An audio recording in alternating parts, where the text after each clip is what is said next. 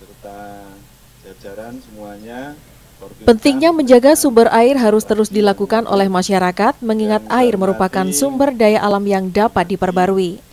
Salah satu upaya memperbarui sumber daya tersebut dengan terus menggalakkan penghijauan atau penanaman pohon. Bertempat di Embung Desa Rejuno, Kecamatan Karangjati, pemerintah Kabupaten Ngawi bersama Dewan Pimpinan Cabang PDI Perjuangan Kabupaten Ngawi, serta organisasi kemasyarakatan menggelar aksi tanam pohon dan tabur benih ikan dalam rangka memperingati Hari Air Sedunia. Wakil Bupati Ngawi yang juga merupakan Ketua DPC PDI Perjuangan Ngawi Dwi Rianto Jatmiko menjelaskan, kegiatan ini merupakan sebagai bentuk sinergi dan komitmen bersama pemerintah daerah dengan partai politik dan elemen masyarakat. Sebanyak 200 batang berbagai jenis pohon yang ditanam dan juga 10.000 benih ikan ditaburkan di embung dengan tujuan menjaga ekosistem dan tentunya kualitas air waduk.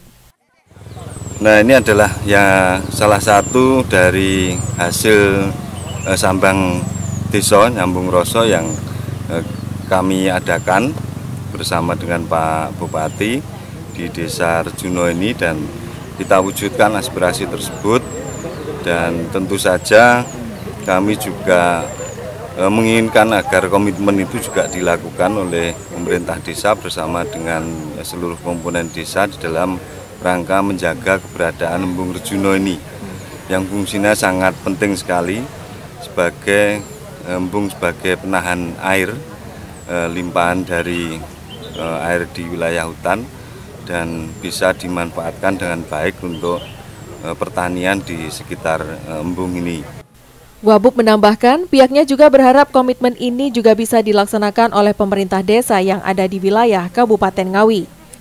Embung ini juga sangat penting sekali karena bisa menampung air dari limpahan air dari hutan, juga bisa dimanfaatkan dengan baik untuk pengairan pertanian di desa setempat.